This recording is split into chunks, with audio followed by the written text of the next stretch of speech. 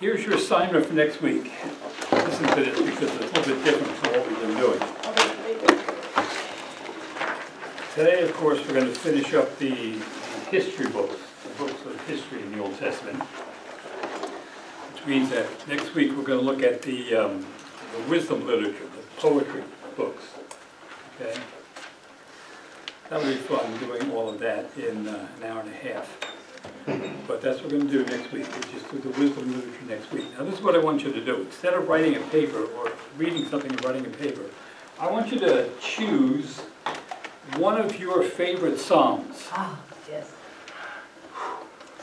And then I want you to, uh, you can write it out or just think about it, a summary of that psalm, and I want you to share it with us in the class next week. Why that particular psalm is special to you, what you think it means. Um, Take a few minutes giving all of you guys a chance to kind of contribute a little bit during the class and tell us what your favorite psalm is and why it's your favorite psalm, right?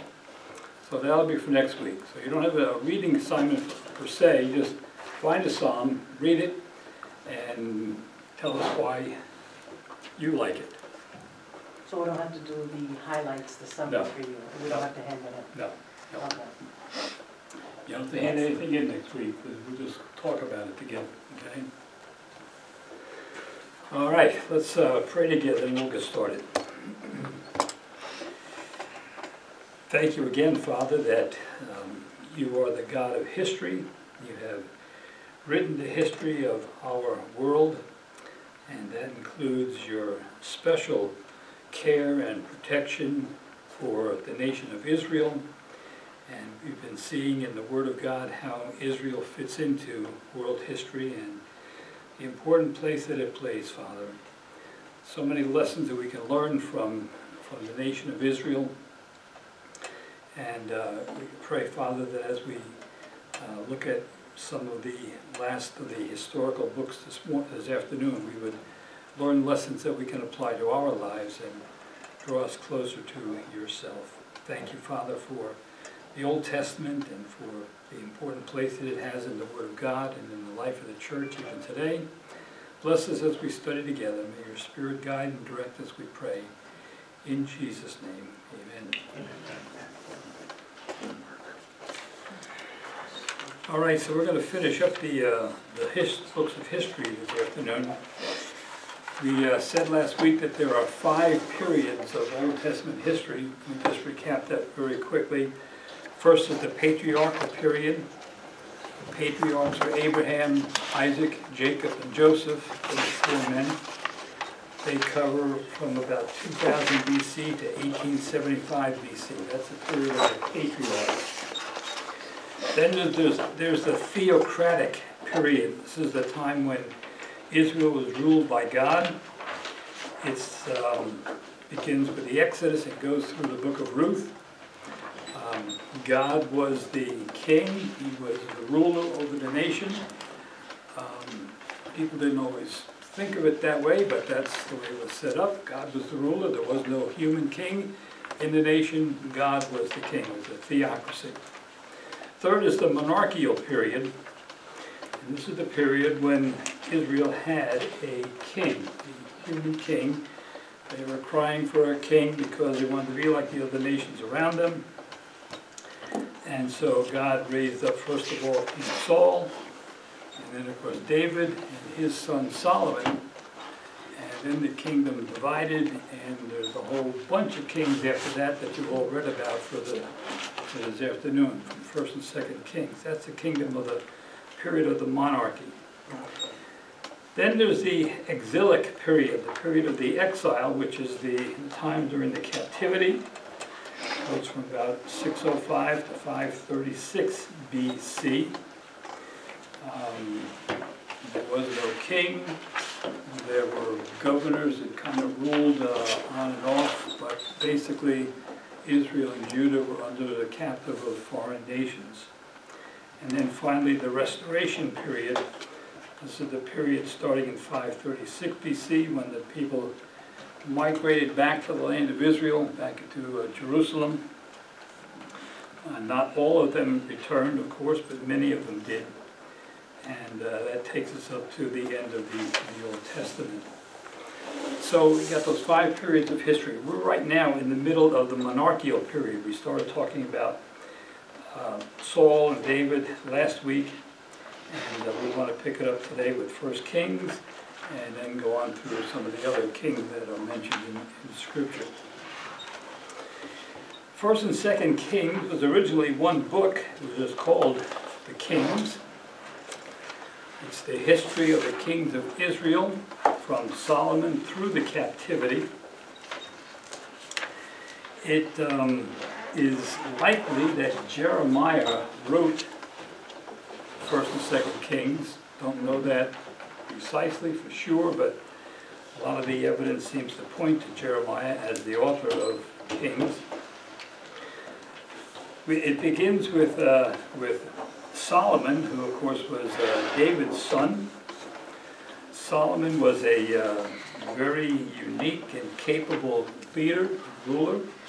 He possessed great um, wisdom. We see the prayer that uh, Solomon prayed in uh, chapter 3 of 1 Kings, when uh, God basically said to him, Ask of me anything you want, and I'll give it to you. Can you imagine that? God coming to you and saying, What do you want? I'll give it to you. And Solomon, being the wise man that he was, even then, he said, Well, I want, I want wisdom. I want the ability to rule this people in a way that will honor God. And God answered that prayer and gave him unusual, special wisdom. Um, there's an interesting story at the end of chapter 3, an illustration of the wisdom that uh, Solomon possessed right from the beginning. The story of these two women who come to Solomon and they have a, a, a baby. And the one woman claims that uh, the baby was hers. The other woman says, no, it's my baby. Your baby died. And um, what do we do, King Solomon? Who, whose baby is it? And Solomon got a, a, a sword and said, all right, tell you what we'll do. We'll just cut the baby right in half. You can have half, she can have half. That's fair. And of course, the true mother of the baby said, no, no, no, no, don't do that. Don't kill the baby. Let her have it if, if that's where we have to do it. And Solomon knew, of course, then who the mother was. And um, he goes on then to display his great wisdom in a lot of other ways uh, throughout the, the book. He, um, he had material wealth that was almost beyond belief. In um, verse, um, beginning of verse 20 of chapter 4, it, it describes some of the, uh, the wealth that, that Solomon possessed.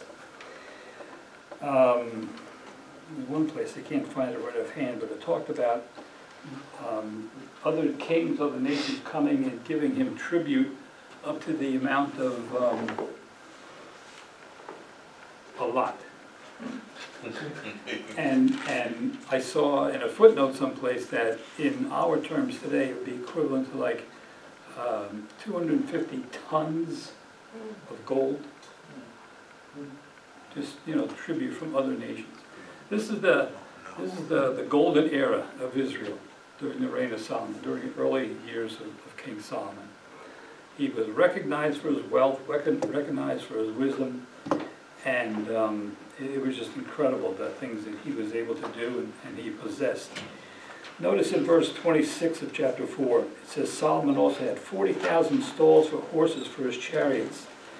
And um, that's kind of interesting because there's a, a statement in 1 Kings chapter 10 where it says that he had 4,000 stalls.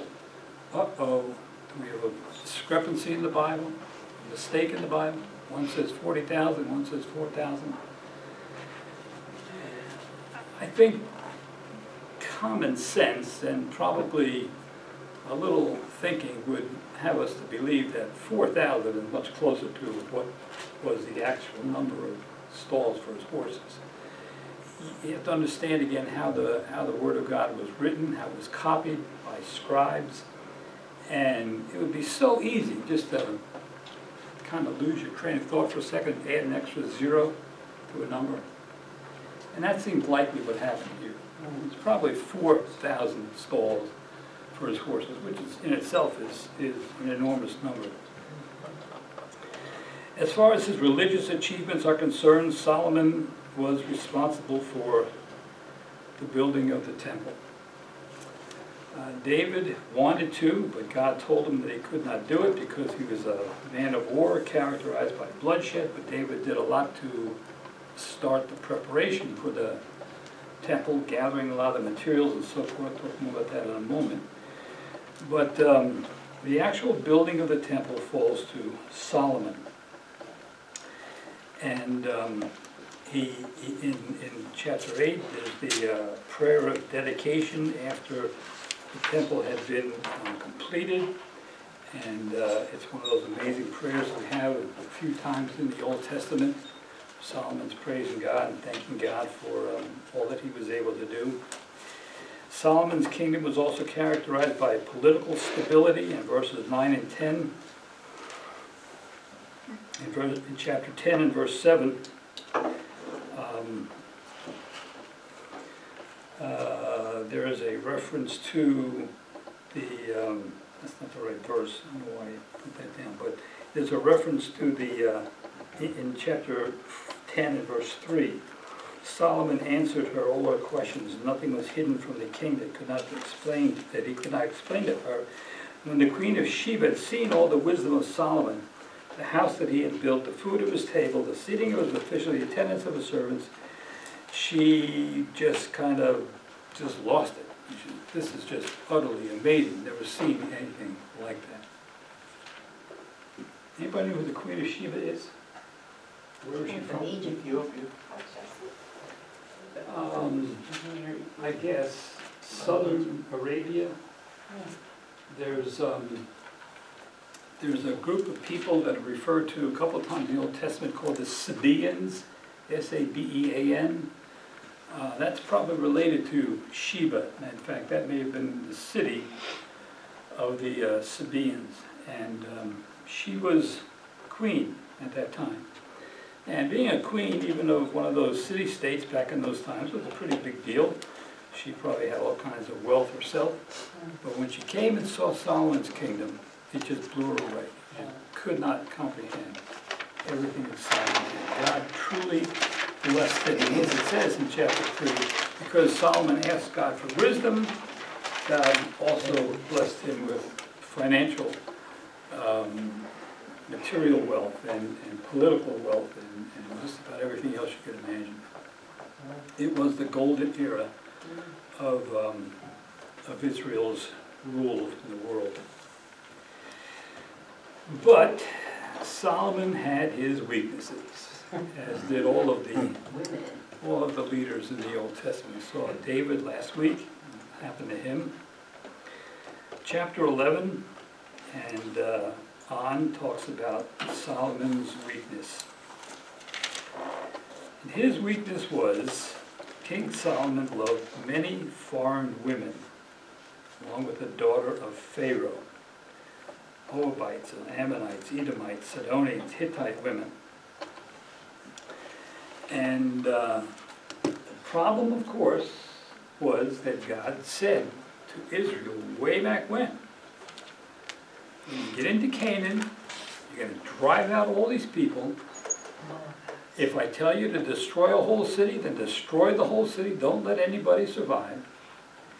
And surely don't intermarry with any of the people that you come across in those foreign countries. And uh, Solomon violated that warning of God. And um, it, it clearly became his downfall. It says he had seven hundred wives. Wow. Something. I want to. That's a lot. Nobody understood me. And three hundred concubines. Oh, my goodness. What's a concubine? Um, Servant of a wife, Yeah, or, uh, yes. That's like Sort this, of. that's like, um, like wife number two, the Yeah. one that you, uh, have on the side. But, Mistress. but understand, there's no, there's no immoral stigma attached to a concubine. She was, um, a legitimate, recognized wife, but she was not on the same level as the first wife, the official wife. She was there, it started really because of the problem of these wealthy men who needed to have sons in order to continue their, their, uh, their family, their dynasty. And sometimes they didn't, their wives wouldn't produce sons. And so another woman was brought in to, uh, to produce a son for him. Abraham's a classic example, Abraham and Hagar. So they were recognized as having a, a rightful place in a family, but they, they had no authority over the family. Uh, the, the king or whoever could just dismiss them if he wanted to. But it's not like he just chose a different concubine to sleep with every night. That, that's not the kind of idea that, that we're supposed to get in thinking of a concubine. It was just there to, to meet some of these needs in case the family could not have male sons, male children. Now, why you need three hundred concubines, I'm not sure. Or 700 wives. find a way. Yeah, exactly. So, That's his weakness. but it was very, it was, it was very commonplace back in, in that day. You also have the problem right here, and we ought to talk about this for a minute, of um, Solomon's polygamy. Again, this was not uncommon in, in the Old Testament. Solomon was not the first or the only, to be sure. Um, Adam, uh, um, David had many wives and, and many other people in the Old Testament. But the problem is that God said, each man is to have his own wife. Um, God pronounced from the beginning monogamy as his ideal for marriage. How do we know that was the ideal in the Old Testament? Where, where did we get that from? Because Right, specifically, Adam and Eve, of course. God created things perfect in the beginning. This is what a family is gonna be, folks. A wife and a husband, Adam and Eve, that's it. We know it from the New Testament because uh, Paul says in 1 Corinthians 7, each man is to have his own wife, each wife have her own husband, and so forth. So monogamy is God's ideal. But yet Abraham and David and Solomon had many wives, and it seems as though God blessed them. So how do we explain that?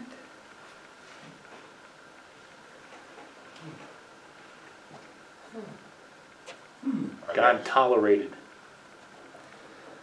okay. God tolerated it. Can you give me something else that kind of corresponds to that? Some other I think that, um, interesting development that's along those same lines, Danny? I think that, um, you know, like you said, um, God didn't, um, allow it, you know, it wasn't part of God's plan, but when it happened, he knew, um, but what they did was when he did it, it was always consequences. So Okay. what happened was, was that, um, you know, that's what he dealt with. With, um, Abraham, with his, um, with the other child, they had the, the issue with that one, which is still going on today. Issue Ishmael, right. Yeah. And with, um, you know, David, and all his, you know, sons, his problem with them trying to kill him and everything else. Yeah. And Solomon and, you know, all of them, so I think it was that, um, he never allowed it, but there was always, um, the problem that, you know, that sin will come back to, um, always, you know, haunt them to Right. their, um, end of their life. Right. What did God say in the Old Testament about divorce? Why did he permit divorce? Because people complain. Okay. And what he said specifically is because of the hardness of their hearts. God knew they were gonna do it. So he basically said, okay, but I'm gonna, I'm gonna limit it, I'm gonna control it. If you're gonna have a divorce, you gotta follow this pattern. I mean, it's all laid out for us in, in the book of Deuteronomy. So God was not putting his approval on divorce, but he was saying, I know you're gonna do it anyway, then here's how you're gonna do it. And it was because of the hardness of their hearts, because of their sinfulness. And I think it's the same thing with polygamy. Um, These, these men were caught up in the, uh, the culture of the day, and they did what the other kings did, and God said, well, um, that's what you're gonna do, you're gonna pay the consequences for it. And as Danny said, we see in Solomon's life, of course, the consequences that, um, that, that it caused in, in his own life. Wow. Um, Beginning in chapter twelve, the end of chapter twelve, you have the division of the kingdom. Now, after, after Saul and David and Solomon, that's the end of um, the, the, the united kingdom. And now the kingdom is divided into two major sections. There is um, uh, the southern kingdom, which is called Judah, and that was started by Solomon's son Rehoboam. After Solomon died, Rehoboam was chosen to be the king. That would be the natural succession. But the, um, the people of the north rebelled against him and didn't want him to rule over them. And so they started, they broke away and started the northern kingdom, which we refer to as Israel. And that was headed up by Jeroboam, one of uh, the captains of Solomon's army. So after about 120 years of one king over the, the United Nation, now you have two kings in this divided situation.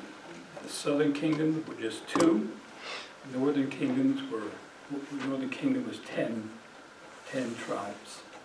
A Couple things to keep in mind about all of this.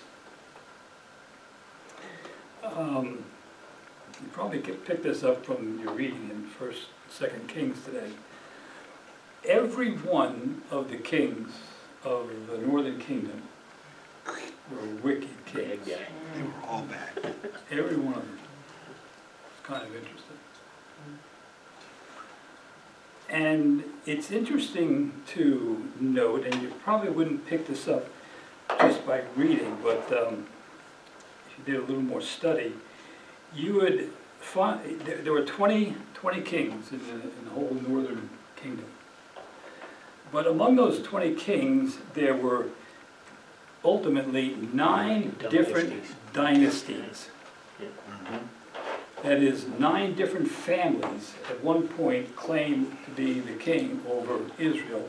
And they served, and the son served, and then they died off, and another dynasty started. Nine different times that happens in the, in the northern kingdom.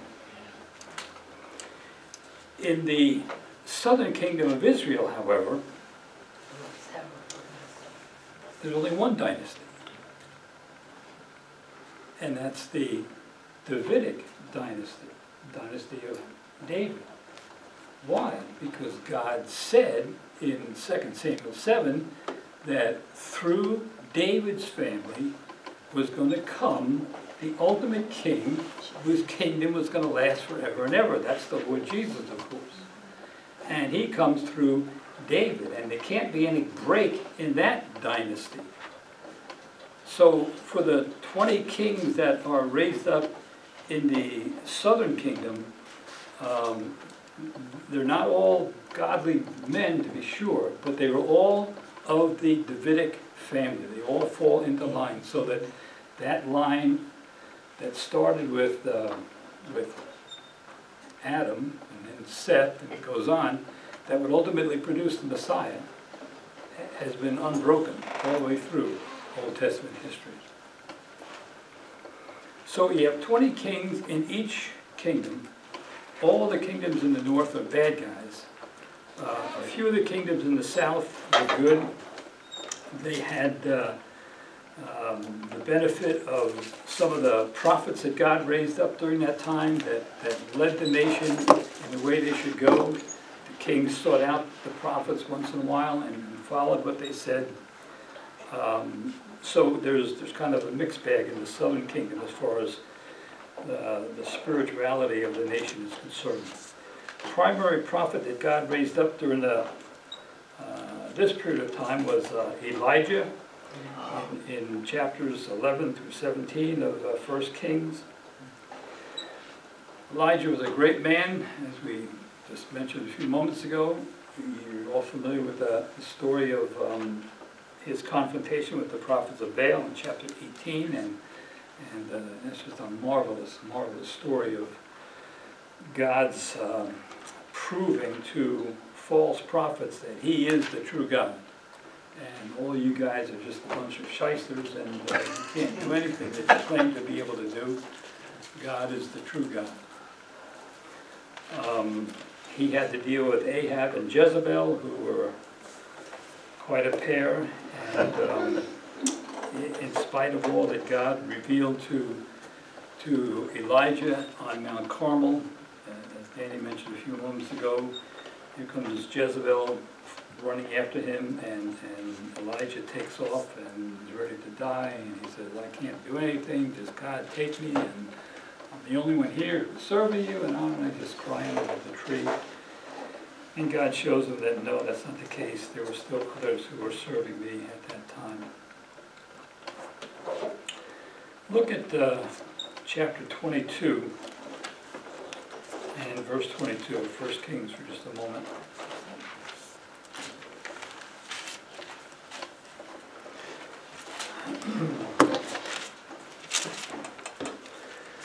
Uh, Let's start back in, um, in verse 19. Micaiah said, Therefore hear the word of the Lord.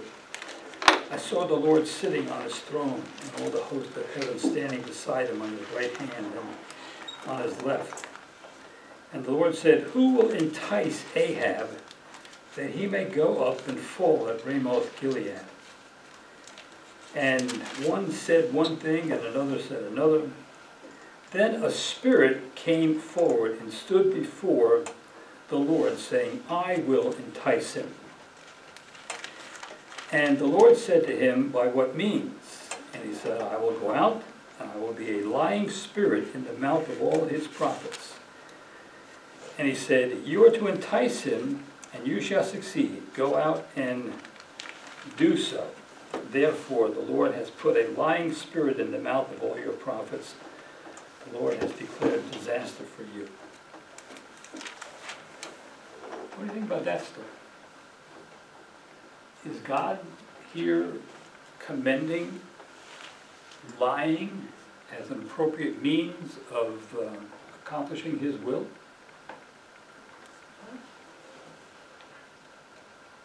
Well, he used calamity and everything else, so, you know, it's what, you know, what he chooses to allow, you know. Even when he tells us that um, it's impossible for him to lie, that we are not supposed to lie. Um, But it seems as though he is putting his stamp of approval on this guy who wants to lie to Ahab to convince him to do something. Then also too, that a lot of times, you know, these things were going to happen anyway. It's just that, um, Yeah, he knows he's gonna do it. you know, like he said he was going to do it anyway. He was going to take the, the word of these, these people anyway. So it just, you know, we just have the, um, sort of foreknowledge of knowing what's going to happen before it does, you know, in the book.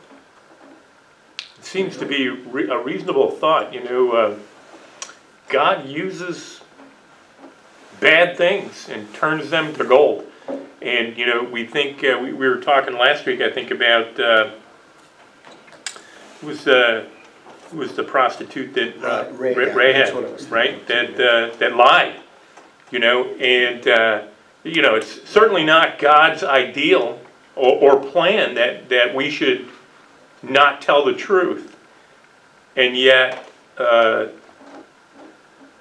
she was saved and appears in the line of the Messiah. So what, what, uh, who knows God's ways? If things are available to God, God seems to use what he wants to, Mhm. to bring about his outcomes. Yeah, Right? He does what his will does, and he already knows what's going to happen. Stop. Like, how about when he, uh, Jesus himself, he told that one guy not to tell everybody, you know, when he cleared, he cleared his eyes and he made him see? Yeah. He goes, don't tell anybody. Come on, you know what he's gonna do. Okay. Any other thoughts? Well, just like today, with all this going on in the world, even though we see lies and all these things going on, this is still leading to the God's will. Yep. And, uh, you know, we, we can't understand it, but we do know that it's been written in Revelation what's happening, what's gonna go on. Mhm. And he uses not only the saints, but the sinners also to, for his will to be performed. Okay. I mean, I still don't understand what you're, what you're saying here. I mean, I, I'm reading it, I'm saying, wow, you know, that's, a- that's a hard one. You know, because he does tell us, you know, we're not supposed to lie. Just like we're not supposed to go to, to divining spirits, but he did that last one with- with Samuel. Yeah, How many times in the book of Exodus does it tell us that God hardened Pharaoh's heart? Few. But on other occasions, he hardened his own heart. Pharaoh- Pharaoh hardened his own Yeah. Right. Um, In the, in the New Testament, in Second Thessalonians, talks about God's gonna send a strong delusion in the end days. A strong delusion. He's gonna send something that people are gonna think is real, but it's gonna delude them. Well, why would God do something like that? Well, because we have to discern the difference between God's directive will, and what permissive. God deems will absolutely come to pass, as opposed to his permissive will, Uh-huh. things that God allows to happen, which includes bad things. And we've said it before, the classic example of that, of course, is the cross. God holds those Jews in Jerusalem and the Roman soldiers in Jerusalem and Herod and Pilate, he holds them accountable for Christ's death. They did it. But God used all of that wickedness to accomplish his greatest purpose for his son. So I think that's what's happening here.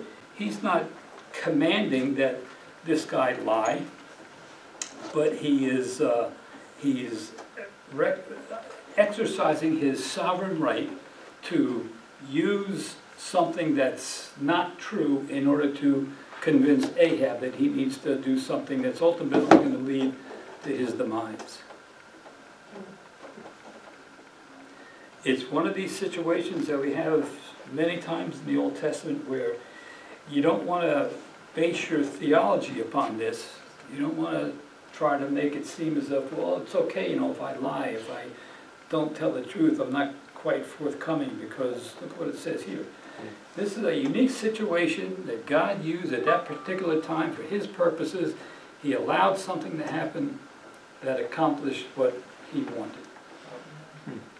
And as Dave said, praise God that He does that. Think about your own life, some of the things that you've gotten yourself into, the messes you've had in your own life, and does God ultimately turn it around for good purposes in your life? You got it.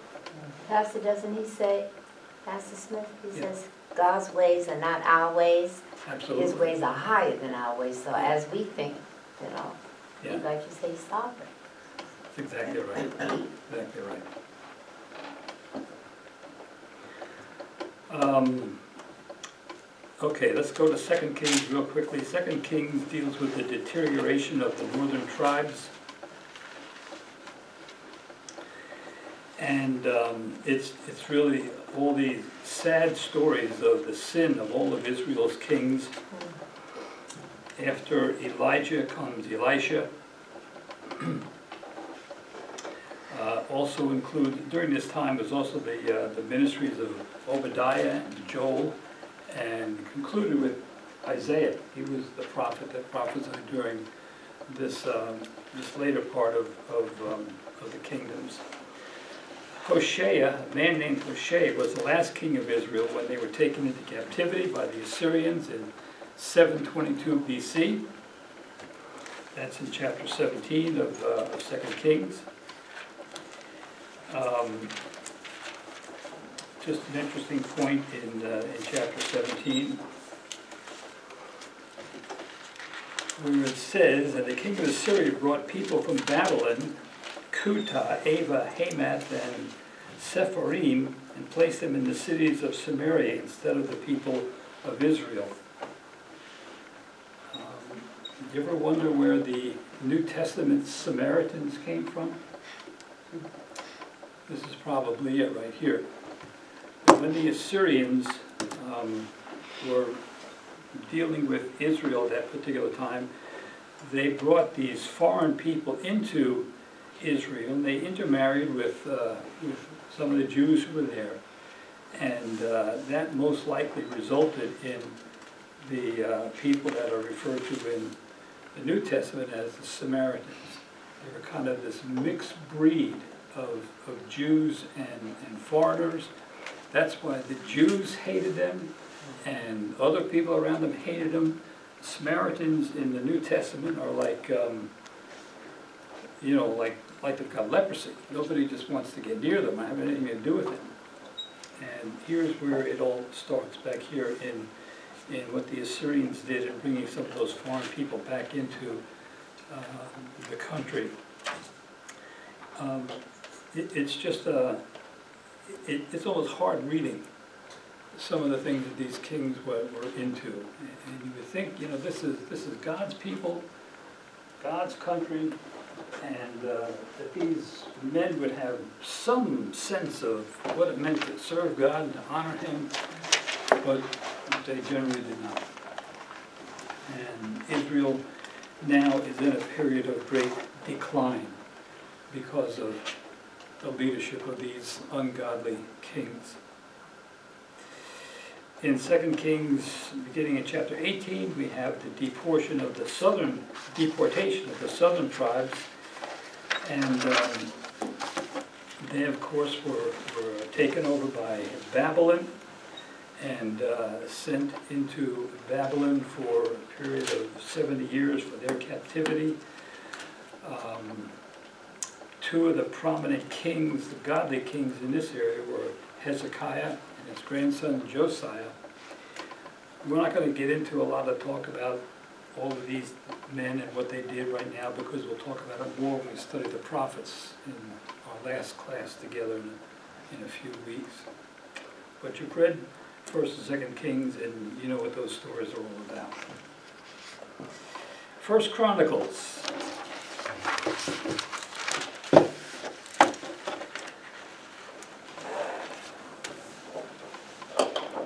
First Chronicles is, um, in fact, First and Second Chronicles um, really have to do with the, uh, the, the temple. And um, First Chronicles deals with the preparation for the temple. It's, uh, it really contains the religious history of, of Judah, the southern kingdom. Um, It appears as though Ezra, Ezra the priest, was the author of, um, of Chronicles. And um, it involves, it contains material that's not included in First or Second Kings. Some of it does. We see David's preparation for the building of the temple in chapters 11 through 29. David captured the city of Jerusalem from the Jebusites. God revealed to him that this is where temple was to be built. Uh, David brought the Ark of the Covenant from Kiriath Jearim to Jerusalem, chapters 13 and 15. He um, instituted uh, a temple choir. And David even began writing some of the psalms at this point that were going to be used in the temple worship ultimately. On his, um, on his deathbed, David charged Solomon with the task of building the temple. Levites were chosen and given their responsibilities. Other officials in the, that would be working in the, in the temple are outlined and they were given their responsibilities. And everything's set now for the, uh, the temple to be put into operation as um, Solomon takes over. And um, First Kings ends then with the death of David. Second Chronicles, um, very interesting, now, very interestingly, pretty much discusses the destruction of the temple. The, um, the bulk of Second Chronicles deals with the the deterioration and the final destruction of Solomon's temple. It was uh, completed in 960 BC, and it was a magnificent structure when it was originally built. First nine chapters talk about the, the building of the temple, and again, when you read the amount of, of gold and silver and jewels and, and the, the um, furnishings and the skill that it took to make them and the amounts of, um, of uh, gold and so forth that had to be used. It was just an incredible, incredible place. The, the, the- dome, um, the- there was so much gold on, on, around the outside that historians talk about being able to see the reflection of the temple from miles and miles away. It was just uh, an incredibly beautiful building. Um, In, in chapters ten through thirty-six, we have the uh, history after the death of Solomon and uh, the, the division of the kingdom, again. uh, The northern kingdom, they went against God's plan to worship in Jerusalem. That was the place where people were to worship God in the temple. The northern kingdom decided that they were gonna try something different and uh, sort of conform to the needs of the people, and so they set up different places of worship, one in Dan and one in Bethel, further to the south, make it more convenient for the people to worship. Why should they all have to come to Jerusalem? And um, so they set up these two places of worship, which was contrary to God's will. Um, In, in the latter part of Second Chronicles, we see the loyalty of Judah to the temple. God had chosen Jerusalem to be the place where the temple was to uh, be located. Um, Zedekiah was the last king of Judah, and he was the one who witnessed the final destruction of the temple and the uh, complete burning of the temple, all the, everything inside was looted and taken away. And um, it was just, it was burned to the ground, basically. This was Solomon's temple. We talked about this a little bit last week. When Zerubbabel came, came back to Jerusalem after the uh, captivity, he wanted to rebuild the temple. And um, basically had to start it from scratch and, and, and rebuild it. And he did, but it wasn't quite to the lavish extreme of Solomon's temple. Um, But he did rebuild the temple so that when the people returned, there would be a place where they could worship the Lord in accordance with, with God's commandments to them. Um, All of that happened when, when Ezra first led the group of the uh, captives back into Jerusalem and um, began the work of restoring the temple. That's in the book of Ezra. Ezra and Nehemiah originally were one book. It seems as though Ezra was probably the author. It was written for their remnant that returned from the Babylonian captivity. We're told that Zerubbabel the priest came back with fifty thousand Jewish people. And um, a short time later, Ezra returned with two thousand more. And their purpose was to rebuild the temple in Jerusalem. Seems like the purpose of the book of Ezra is to highlight God's faithfulness to his promises. His promises to Judah. Um, he he promised that they would have a temple to worship in, and even though it was destroyed, now he's fulfilling that promise by having it restored under the leadership of Ezra. Nehemiah, on the other hand, he returns to Jerusalem for the express purpose of rebuilding the city. Ezra wanted to take care of the temple, Nehemiah wants to bu- rebuild the city. It's interesting, Ezra was a priest. He would be more equipped to deal with the um, religious nature of the nation and had more interest in, in rebuilding the temple. Whereas Nehemiah was, um, he was a layman. He, he just worked for a king. He was a cupbearer for King Ahasuerus. And uh, he was more concerned with the, the physical nature of the city and the political aspect and all of that. So he wanted to rebuild the city of Jerusalem. And if you've read Nehemiah in the past, you know that it really is an excellent manual of biblical leader, leadership in, in the face of obstacles and hardships. I mean, Nehemiah was an excellent organizer and, uh, and, and planned in great detail what it was going to take in order to rebuild the city and uh, sets out to do it and accomplishes most of it in really a very short um, period of time. Um,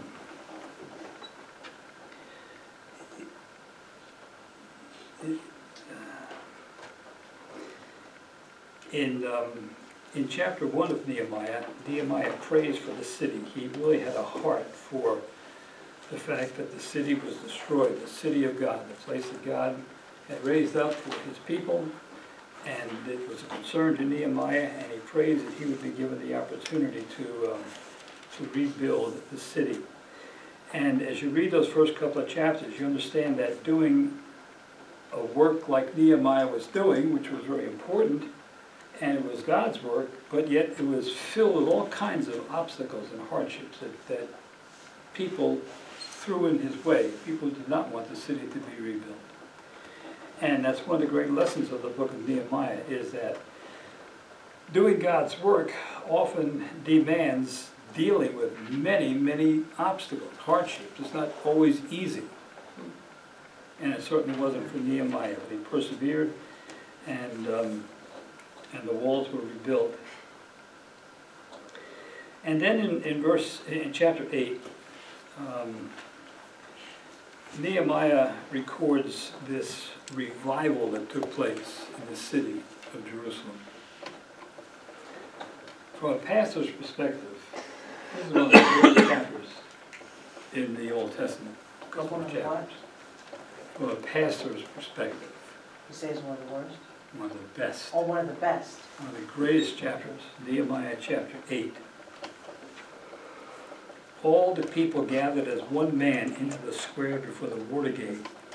And they told Ezra the scribe to bring the book of the law of Moses that the Lord had commanded Israel. So Ezra the priest brought the law before the assembly, both the men and the women, and all could understand what was heard on the first day of the seventh month. And he read from it facing before the, the square before the water gate, from early morning till midday, in the presence of the men and the women, and all could understand. And the ears of all the people are attentive to the book of the law. In our church this morning, when the pastor was reading a couple verses of the the nativity story before his message, he asked everybody to stand. And we stood for two minutes while he read. You imagine standing from morning till midday, listening to the Word of God being read? I mean, that's the key to revival. is listening and understanding and obeying the Word of God. And, and uh, this hadn't been done in, in Israel, in, in Judah for, for years, and the people just, just ate it up.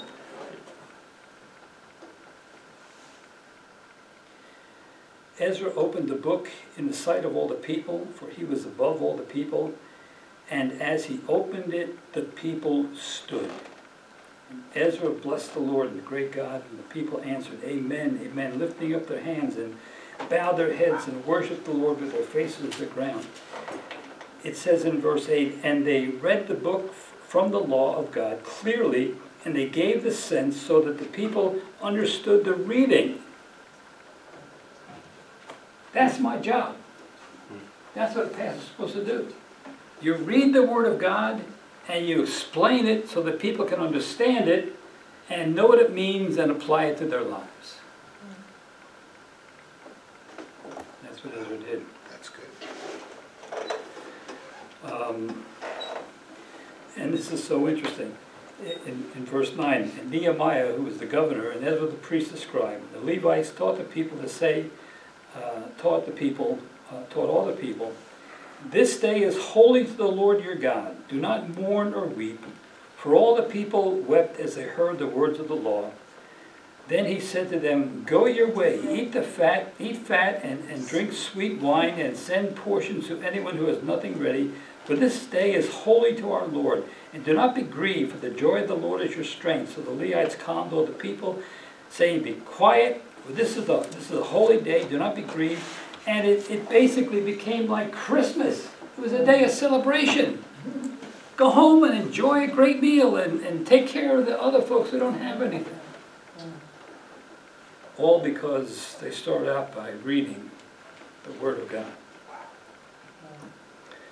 Uh, It's just a, a, a powerful passage.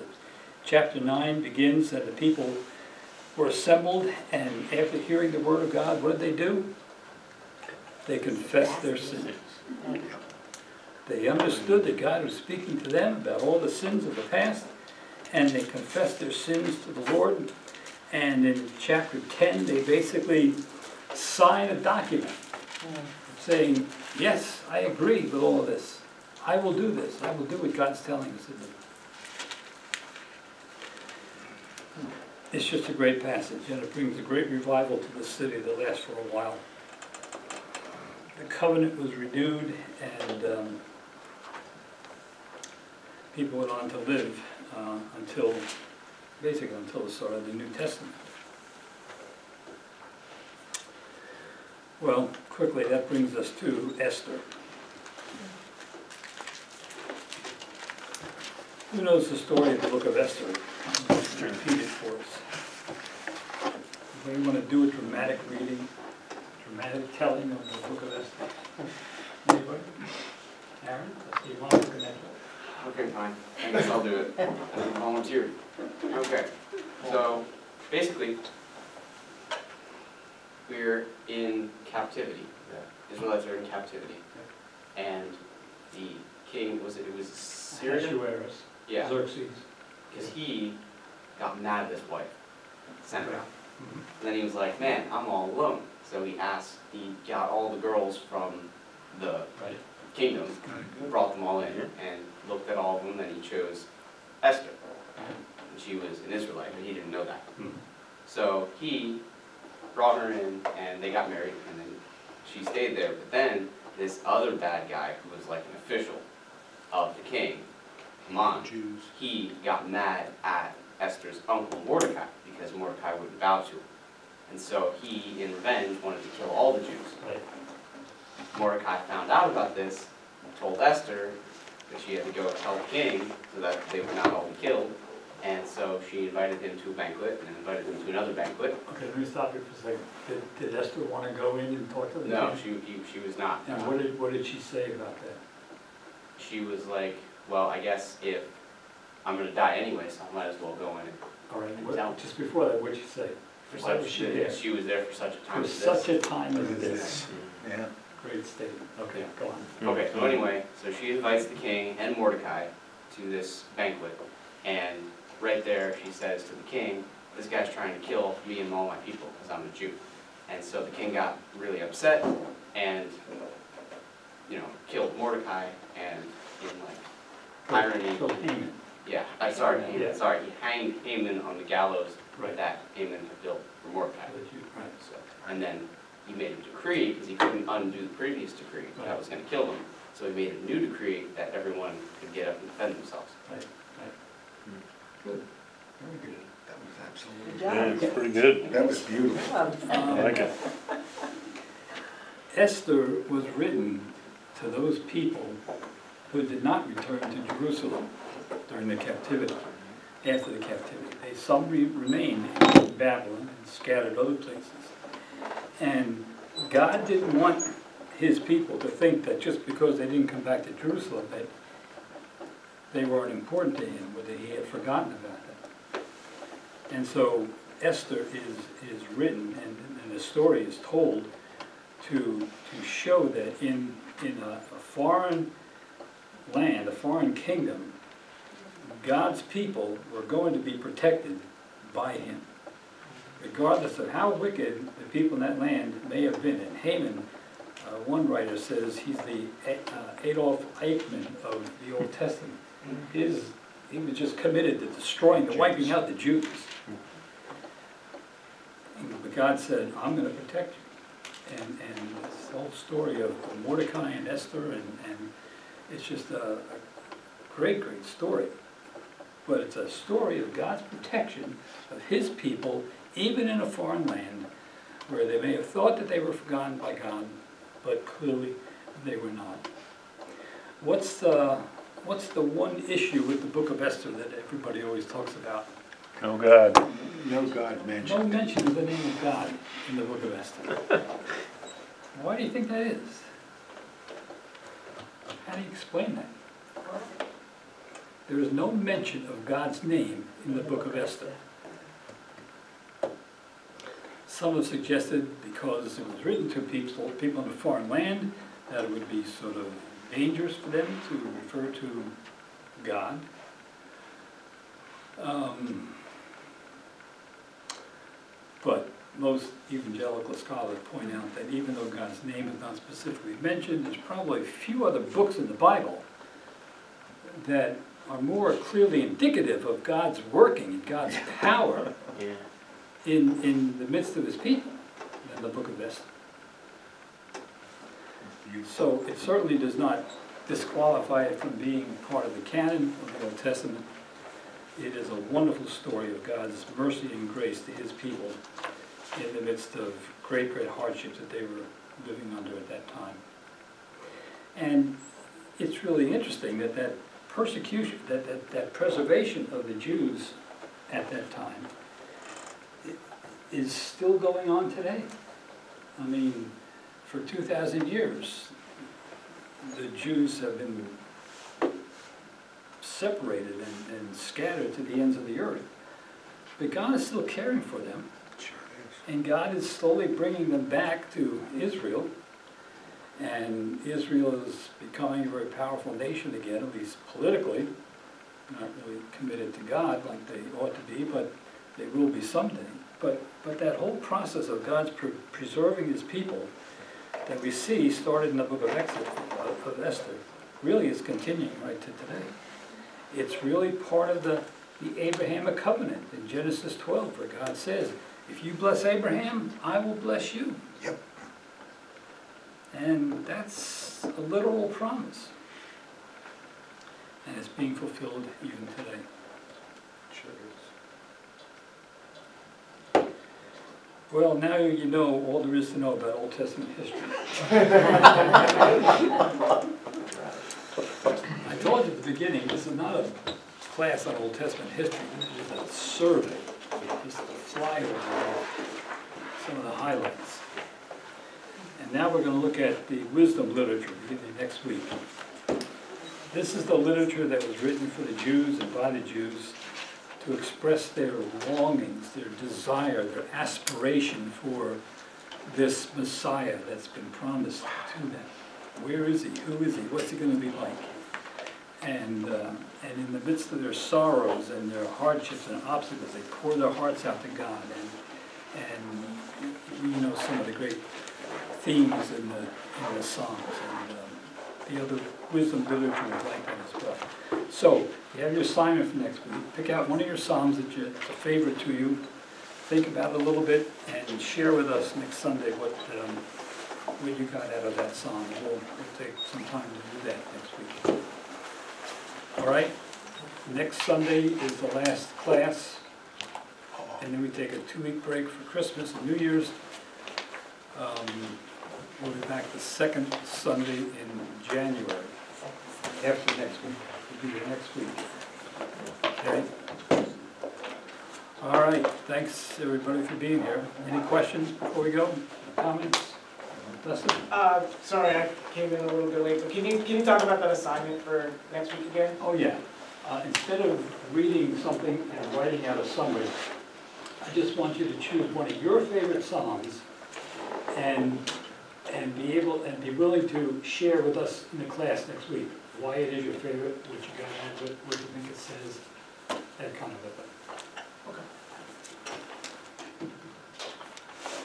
All It right. seems strange to me that God knows the end from the beginning, but yet he will, he will give people positions as being king, and saying, if you will, if you will serve me, you know, all will be well, knowing that they're gonna fail.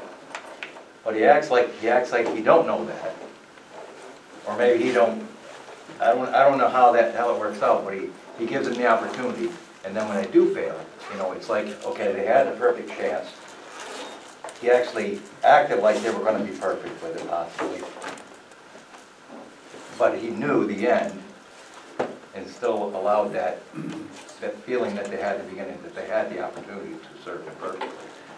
That's because God did not create human beings as robots.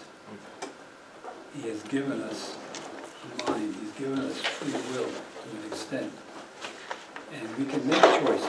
And he wants to see that we make choices to serve God of our own volition, that we want to choose to follow him. He knows, of course, a lot of people are not going to, and he lets them make those choices too and they will be judged for that ultimately. But but God, God didn't create robots. I keep harking back, I keep harking back to the cross because it's so wonderfully illustrated there. Where the Lord, where Peter says in, in Acts two and, and and four, and he basically points the finger at, at those Roman soldiers and Jewish leaders and said, you killed the Lord Jesus Christ, you killed your Messiah. And he holds them accountable for that. But of course, God planned that from eternity past. He planned to use every one of those men. But yet he holds them accountable for what they did. That's gonna be the, the, uh, the destiny of every person who ends up in hell. God says, I, I, you had the opportunity. You chose to go your own way. Well, now you're gonna pay for it.